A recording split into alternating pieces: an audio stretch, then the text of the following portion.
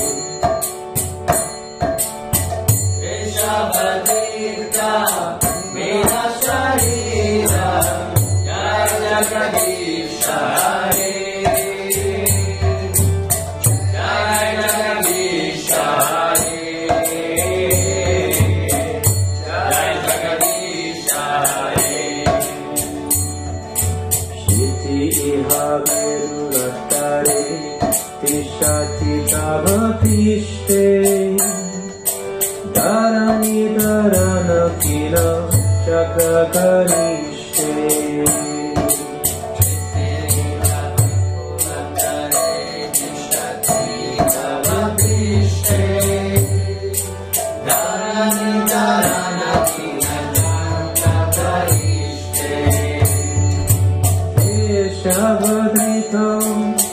कूर्म शरीर जय जगदीश हरे जय जगदीश हरे जगदीशे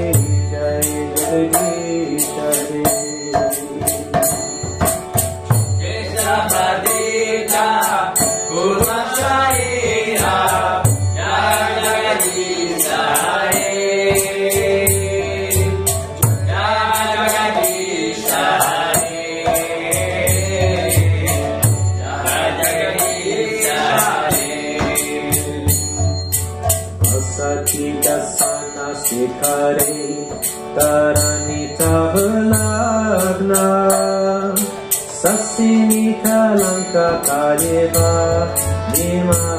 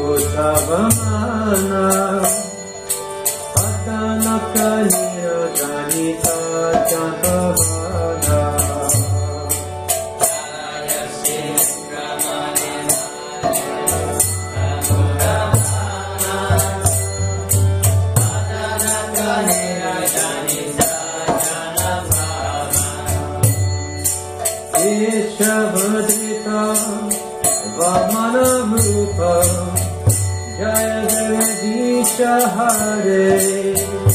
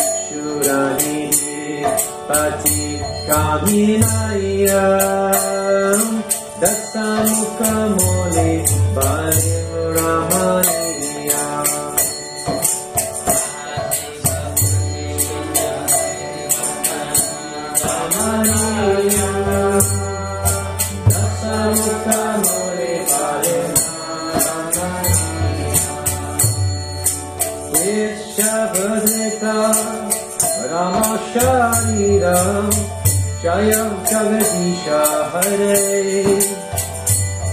जय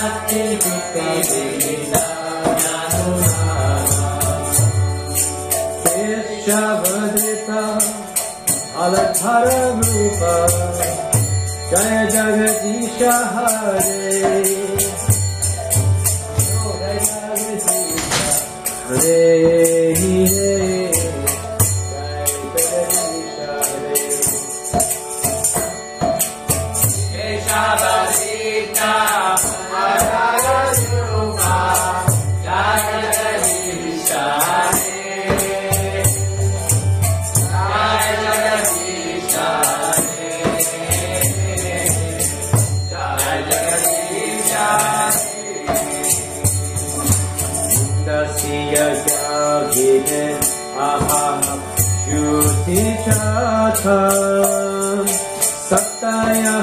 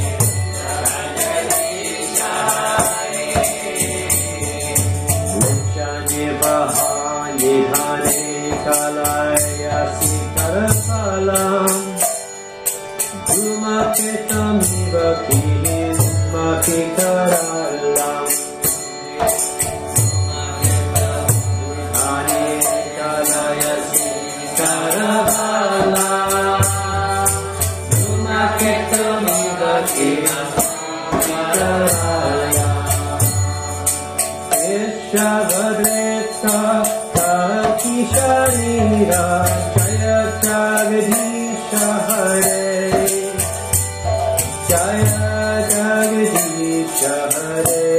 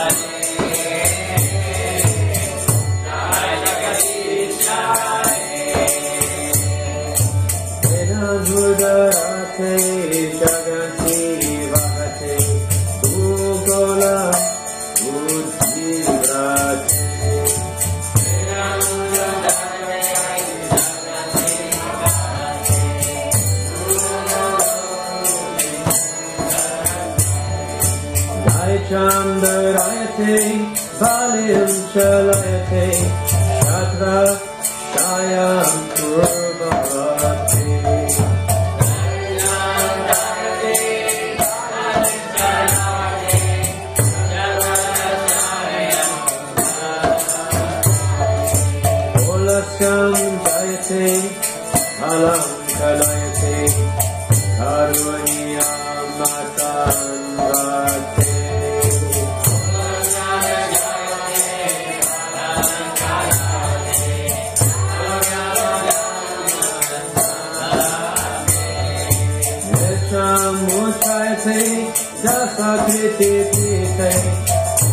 Krishna, Krishna,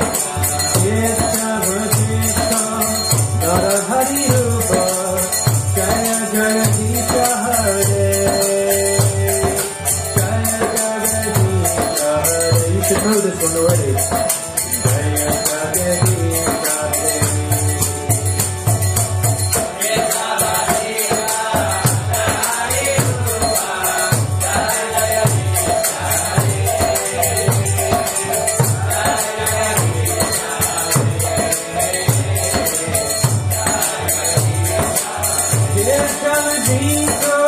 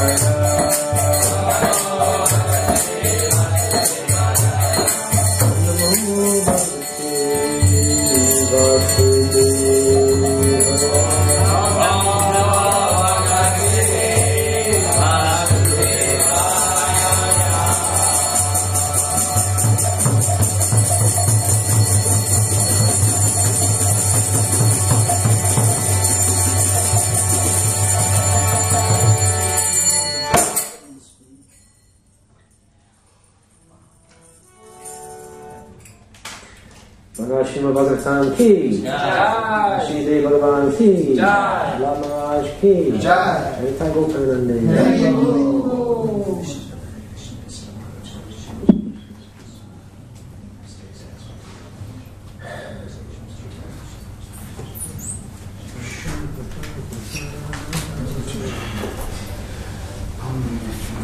have all these pictures of the whole pastime from beginning to end. And I wondered if you'd like me to uh, put them on the screen. Absolutely. Okay, how do we do this? Well, let's first read the verse and then Yoga will show you how to do it. Right. So if we can have on the board, please, Canto 7, Chapter 9.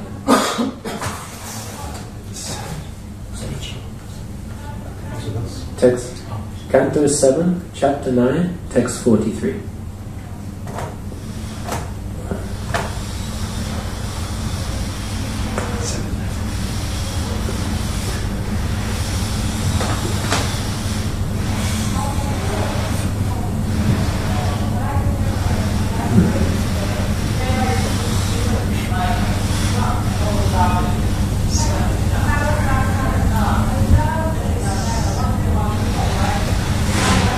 Say seven nine?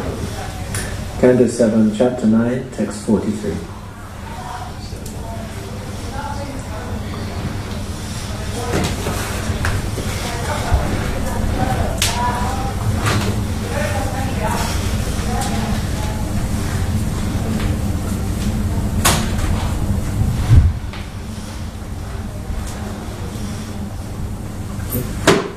Seven nine forty six. That's not it. 43. 7, 9, 43. That's forty three. Yeah? It's up there? Not yet. That's forty three. One's forty six. No, I want 43. Forty three. Yeah. My apologies.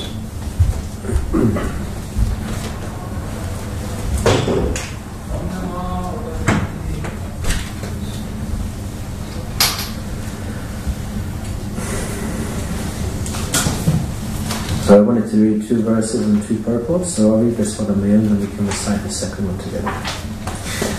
O best of the great personalities, I am not at all afraid of material existence, for wherever I stay, I am fully absorbed in thoughts of your glories and activities. My concern is only for the fools and rascals who are making elaborate plans for material happiness and maintaining their families, societies, and countries. I am simply concerned with love for them. Purport. Throughout the entire world, everyone is making big, big plans to adjust the miseries of the material world, and this is true at present, in the past, and in the future. Nonetheless, although they are making elaborate political, social, and cultural plans, they have all been described here as vimudha, fools. The material world has been described in Bhagavad Gita as dukhalayam, shashvatam. Bhagavad Gita 8.15. Temporary and miserable. But these fools are trying to turn the material world into sukhalaya, sukhalayam, a place of happiness, not knowing how everything acts by the arrangement of material nature, which works in her own way. Prakriti kriyamanayani gunaikamani sarvasha ahankara vimudhatma katahamiti manyate the bewildered spirit soul, under the influence of the three modes of material nature, thinks himself to be the doer of activities that are in actuality carried out by nature. Bhagavad Gita 3.27 There is a plan for material nature, personally known as Durga, to punish the demons. Although the Asuras, the godless demons, struggle for existence, they are directly attacked by the goddess Durga, who is well equipped with ten hands with different kinds different types of weapons to punish them. She is carried by her lion carrier, or the modes of passion and ignorance.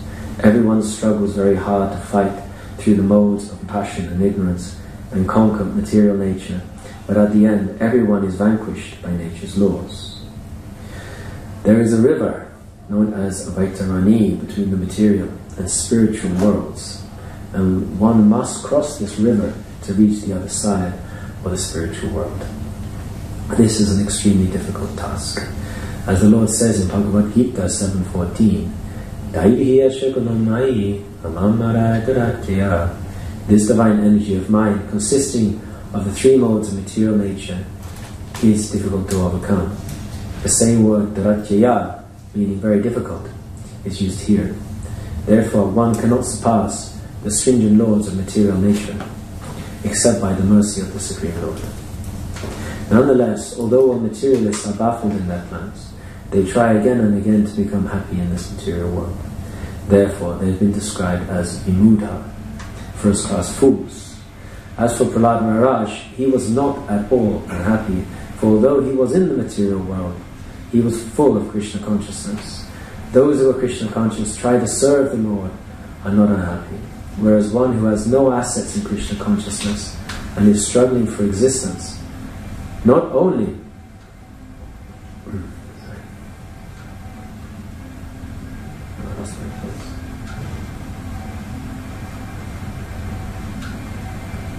not only foolish but extremely unhappy also. Prahlad Maharaj was happy and unhappy simultaneously. He felt happiness and transcendental bliss because of his being Krishna conscious, yet he felt great unhappiness for the fools and rascals who make elaborate plans to be happy in this material world. And in today's verse, text 44.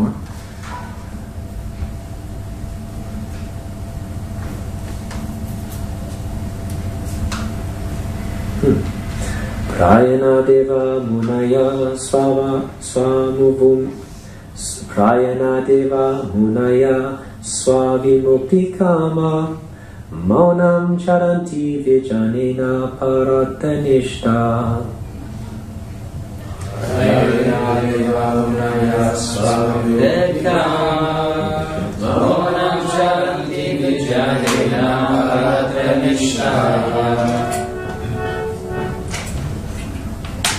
No, it's not going to work. It's a bit of a speculation. Does anyone know the uh, meter for this one? Prayena Deva Munaya Svamukti Kama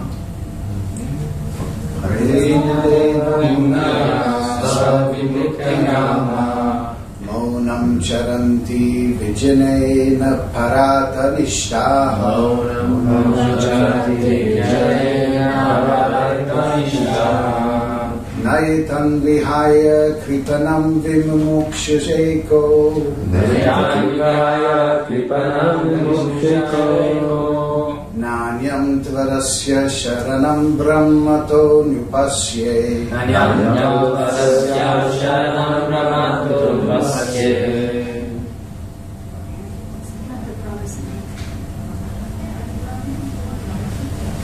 We do it again? That's okay. Let's go straight to the word for word. Prayana. Generally, in almost all cases. Generally, in almost all cases. Deva. Deva. Oh my Lord. Oh my Lord. Munaya. Munaya. The great saintly persons. Great saintly persons. Swa. Swa. Personal. Personal. Om. Om. Vimukti Kama. Vimukti Kama. Ambitious for liberation. Ambitious for liberation. From this material world. From this material world. Maunam. Silently. Silently. Charanti. Charanti. They wander. They wander. In places like the Himalayan forests. Places in the Himalayan forest. Where they have no touch with the activities of the materialists. Where they have no touch with the activities of the materialists. Vijane. Vijane. In solitary In places. solitary places. Now. Now. Not. Not. Para artha nishta.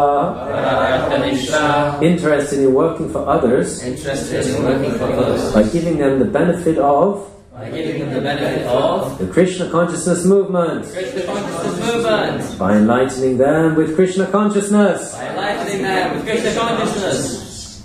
Na. Na. Not. Not. Etan. Etan. These. These. Vihaya. Vihaya. Leaving aside. Leaving aside. Kripanan. Kripanan. Fools and rascals. Fools and rascals. Engaged in materialist activity who do not know the benefit of the human form of life. Engaged in scientific activity. who Do not know the benefit of the human form of life. Dimamukshu. Namamukshu. I desire to be liberated And to return home back to Godhead. To return home back to Godhead. Ekab. Eka. Alone. Alone. Na. Na. not. Not. Anyam, Anyam. other. Other. Tvat, But. but for you. For you. Asya, Asya. of this. Of this. Sharanam, Sharanam. shelter. Shelter. Brahmata, Brahmata. of the living entity, Of the living entity. rotating and wandering throughout the material universes. Placing and wandering throughout material universes. Anupashe, Pasya. do not see. Do not see. Translation and purport by His Divine Grace A.C. Bhaktivedanta Goswami Maharaj Srila Prabhupada Srila Prabhupada Ki Jai. My dear Lord Nrsingadev, I see that there are many saintly persons indeed, but they are interested only in their own deliverance. Not caring for the big cities and towns, they go to the Himalayas or the forest to meditate with vows of silence, Mauna Vrata. They are not interested in delivering others. As for me, however, I do not wish to be liberated alone. Leaving aside all these poor fools and rascals, I know that without Krishna consciousness, without taking shelter of your lotus feet, one cannot be happy. Therefore, I wish to bring them back to sh- the shelter at your lotus feet. Purport. This is the decision of the Vaishnava, the pure devotee of the Lord. For himself, he has no problems, even if he has to stay in the material world, because his only business is to remain in Krishna consciousness. The Krishna conscious person can even go to hell and still be happy. Therefore, Prahlad Maharaj said, paraturatya vaitaranya. Confirm. O best of the great personalities, I am not at all afraid of material existence. The pure devotee is never unhappy in any condition of life. This is confirmed in Srimad Bhagavatam 6, 17, 28. Narayana parasarve nakutaschana dipyate svarga pavarga narakshu apitulyata darshina Devotees solely engaged in the devotional service of the Supreme Personality of Godhead Narayana never fear any condition of life. For them, the heavenly planets, liberation, and the hellish planets are all the same. For such devotees are interested only in the service of the Lord. For a devotee being situated in the heavenly planets and being in the hellish planets are equal, for a devotee lives neither in heaven nor in hell, but with Krishna in the spiritual world. The success, secret of success for the devotee is not understood by the karmis or the jnanis. Karmis therefore try to be happy by material adjustments, and jnanis want to be happy by becoming one with the Supreme. The devotee has no such interest. He is not interested in so called meditation in the Himalayas or the forest. Rather, his interest is in the busiest part of the world where he teaches people Krishna consciousness. The Krishna consciousness movement was started for this purpose. We do not teach one to meditate in a secluded place just so that one may show that he has become very much advanced and may be proud of his so called transcendental meditation, although he engages in all sorts of foolish materialist activity. A Vaishnava like Prahlad Maharaj is not interested in such a bluff of spiritual advancement. Rather, he is interested in enlightening people in Krishna consciousness because that is the only way for them to become happy. Prahlad Maharaj says clearly, Nanyam tvad asya sharanam paramato nupashye. I know that without Krishna consciousness, without taking shelter of your lotus feet, one cannot be happy.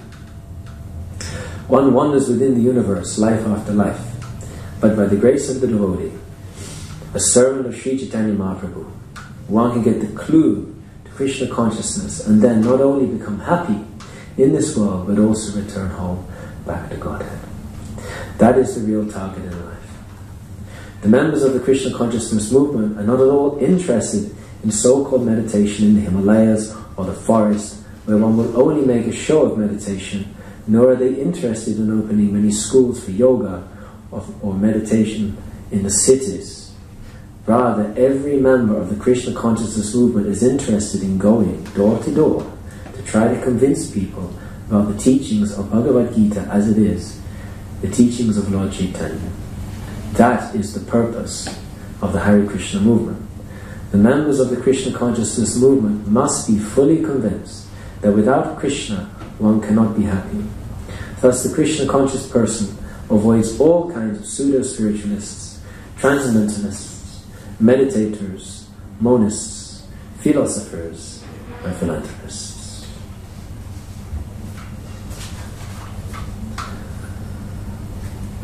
Om Jnanatimrandasya Jnananjanashalakaya Chakshuramilitam Jaina Tasmai Shri Gurave Namaha Shri Chaitanya Manobhishtam Sabitam Yena Bhutale स्वयं राजे वंदे श्रीगुरु श्रीयुता श्रीगुरुन् वैष्णवंश्च। श्रीरूपां सागरशाताम्। सागना रघुनाथं वितम् तं सजीवम्। साधृतम् परिजना कृष्णचैतन्यदेवम् श्रीराधा कृष्णपादा सगना ललिता श्रीशाखामृतंश्च हे कृष्ण, करुण, सिन्धु दीनबन्धो जगत्पते गोपेश गोपिका कान्त राधाकान्त नमोऽस्तु ते। तप्त कञ्चन गौरङ्गे राधे वृगादेश्वरी ऋषभानुसुतदेवी प्रणमामि हरिप्रिये वंशकल्पतरुभ्यश्च कृपा सिन्धुभ्येव च पतितानां पावनेभ्यो वैष्णवेभ्यो नमो नमः। श्रीकृष्ण चैतन्य प्रभु नित्यानन्द श्री अद्वैता राधा शिवसरि गौरभक्तवृन्द हरे कृष्ण हरे कृष्ण कृष्ण कृष्ण, हरे हरे। हरे राम हरे Ram Ram Ram, Hare Hare.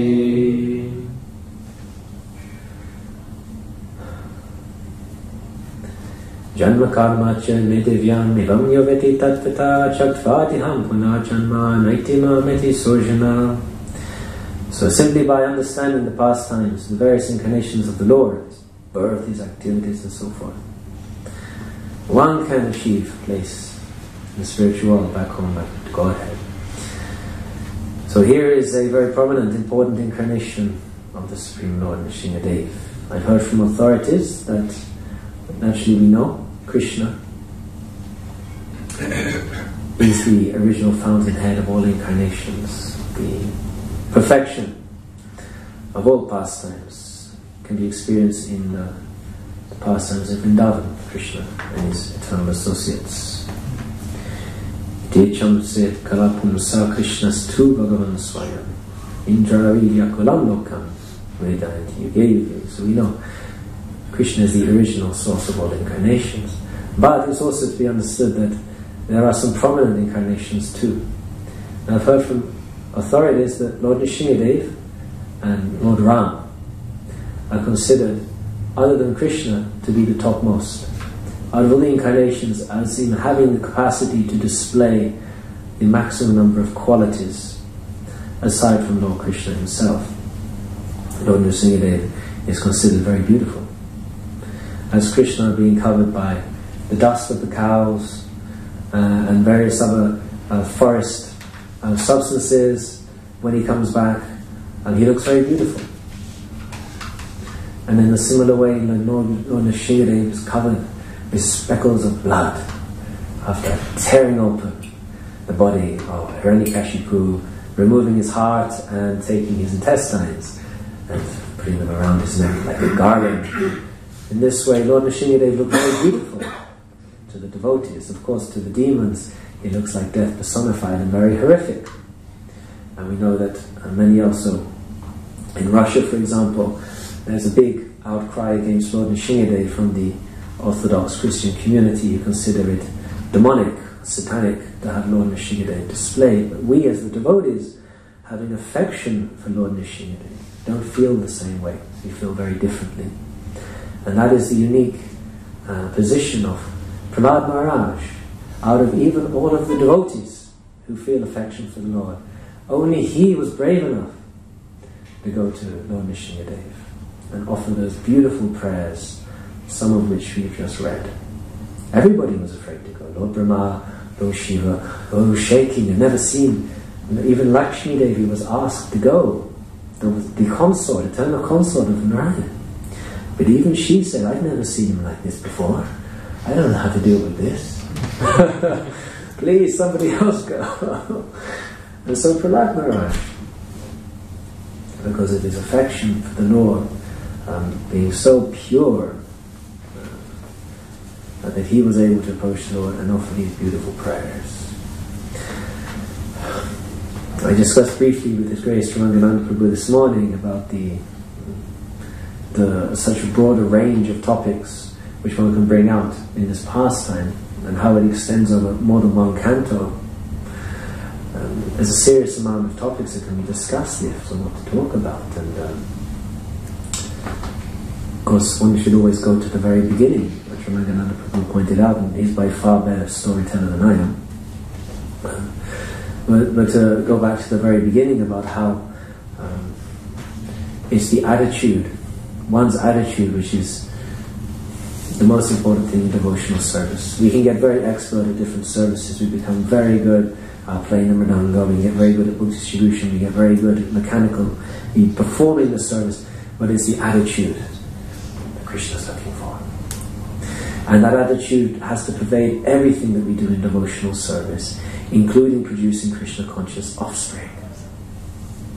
The attitude is everything. And so we see at the very beginning of the story where Diti approaches her husband due to um, too much lust, and therefore uh, the child that is produced from that is demoniac. Whereas we see that the children produced in proper consciousness become the demigods from Aditi. So Aditi and Diti um, one produces the demigods, one produces the demons. So it's all about the attitude, everything has to be done correctly. So Prabhupada, of course we are not qualified to do all of the, so many procedures, but we are recommended to have uh, Garbhadan Samskar, or at least chant 50 rounds or something like that, Prabhupada recommended. Uh, to produce a child who's going to be God conscious, to attract a certain type of soul who's going to be of great benefit to the Krishna consciousness movement and not a burden to humanity. so, um, and that's a reality because the attitude of the parents creates the attitude of the child. And so we see different varieties in our scriptures of different varieties of children. Uh, for example, we see in the Mahabharata the, the vast disparity between the attitude of Duryodhana and, and uh, Yudhishthira Maharaj, where Yudhishthira Maharaj is requested um, when Duryodhana comes in and says to uh, says to Krishna, why is it that um, everybody loves Yudhishthira Maharaj so much?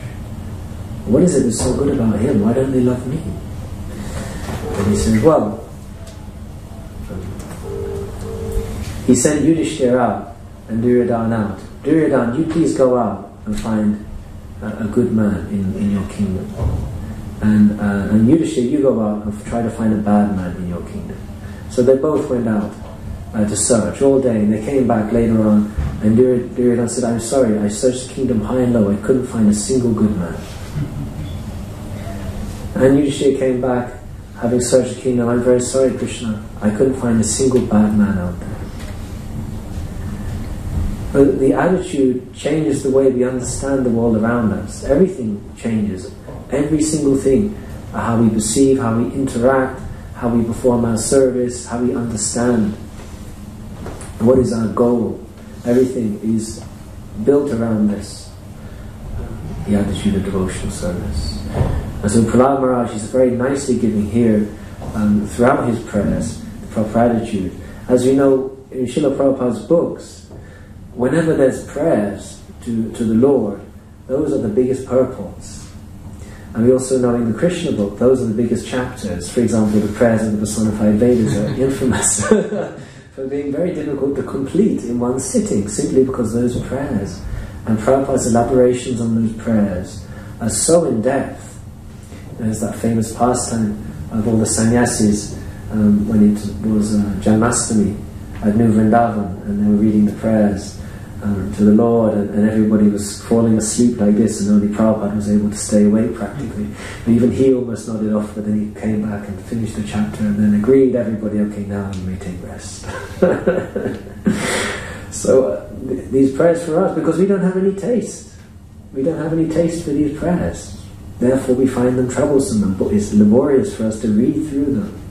Whereas for the pure devotee, he can say these prayers indefinitely, like I've heard for example, Vaisheshika Prabhu, when he comes and um, visits somebody's house, and he, he, would like to read first before we have anything to eat. Let's read something.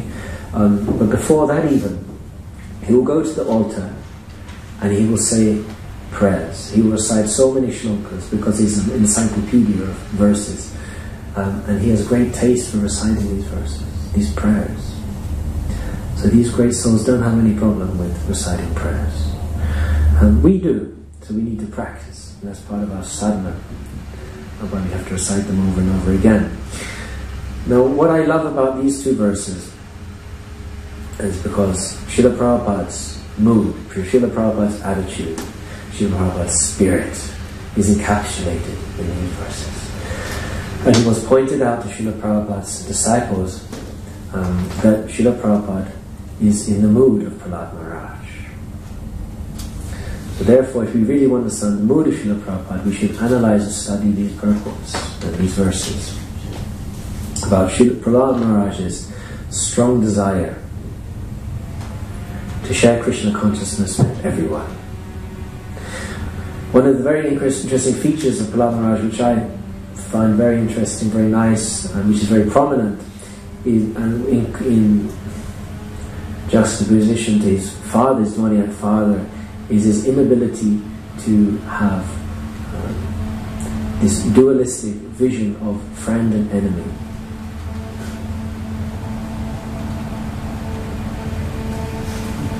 So yes, here we have um, the uh, original sin. Going back to the days of Adam and Eve, it's a similar, similar principle. Uh, so the idea is that The idea is that um, the, uh, the, the necessity to control oneself is considered very important in Vedic culture. Um, the, our tendency is always not to control ourselves. You know, why, especially in, in, some of us, the way we're brought up, um, having to control yourself. You know, why should I? Why should I have to do that? Why can't I just do whatever I feel like? Why can't I just do whatever I want? Um, you know, I hate you, mom. You don't let me do anything. You know, all of my friends are allowed to go out, and you know, I hate you. You know, like I'm going to go out. Where are you going? I'm going out. All right, stop trying to control my life. You know, leave me alone. So, it, and he, he may laugh, but it's a common thing that you, you hear, and people make joke, jokes out of it, and even comedies out of it. But that's the reality. I mean, I've, I've, perhaps I've even said it myself. I don't know. Probably. I certainly had my sister say something like that. and it's uh, and it's what we don't like to be controlled. We don't like to be reeled in uh, and told what to do. You know, it goes against our nature. We want to be free. The soul is free to wander here and there and throughout all the material universes. Right? So having to submit to the instructions of the spiritual master, Brahmande Brahmite Konye Bhagavana Jiva Guru Krishna Bhakti. We've been wandering throughout all the material spiritual world since time immemorial. It's been going on and on like this.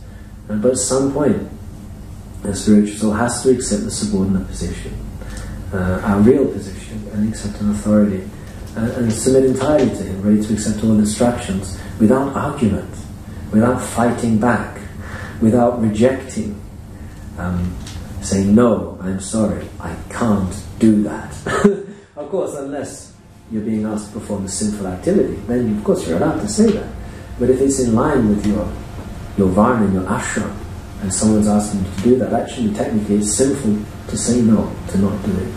And it's also sinful for somebody to prevent you from performing your dharma. One has to be allowed to perform his prescribed duties. Therefore, one has to know what his prescribed duties are. Therefore, one has to know what his position is, uh, and what his role is. And then everything's clear, uh, and everybody understands where everybody else stands.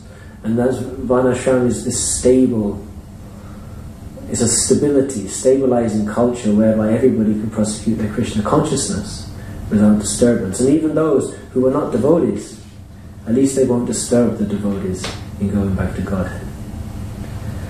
So Prahlad Maharaj brings out that point that from the very beginning of life, one should be taught Bhagavad Dharma. Kumara Acharit Pragyo Dharma Bhagavatamiha. From the very beginning of life, is a principle. So this principle of uh, Gurukul is, one sense, a controversial topic because of the history of Gurukul, but we shouldn't throw out the baby with the bathwater and just say, oh, the whole system is useless in Kali Yuga, it just can't work. No, it just means we, we have to get better and practice and get better at it. That's all, become qualified to do it.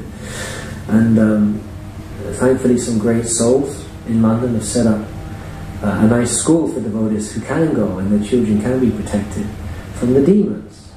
Because living with the demons, studying with the demons, as Prahlad Maharaj had to do, usually corrupts us and forces us to behave in a demoniac way, whereas, of course, we can't all be like Prahlad Maharaj. in the, in the very presence of the demoniac children, he was able not only to not accept the instruction of his teachers, though he was a submissive student and listened to everything and never misbehaved, but at the same time, he didn't imbibe those teachings to his heart. You have to learn diplomacy and politics uh, and all these things, you know, understand who is your enemy and who is your friend, and, and do good things with your friends, and then find figure out ways of harming your enemy so that he can't affect you, can't affect your sense gratification, your ambitions to conquer and enhance your mighty empire. And, and, and help you to slay your your friends will help you to slay your foes who get in the way of your sense gratification. This person's annoying me. Now I can't do whatever I want because of him. So therefore he's my enemy. So I will try to get everybody gang up on this person and take them down. And in this way I will be successful, I'll be happy, I'll be perfect, I'll have a nice dynasty of relatives, and this way I'll live forever in, in the minds and the hearts of my followers. Um, so this is the way the demons live.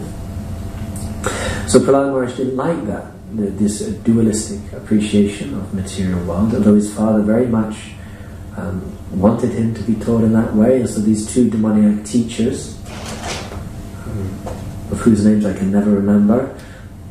Shanda and Amarka. Yeah, that's it. Shanda and Amarka.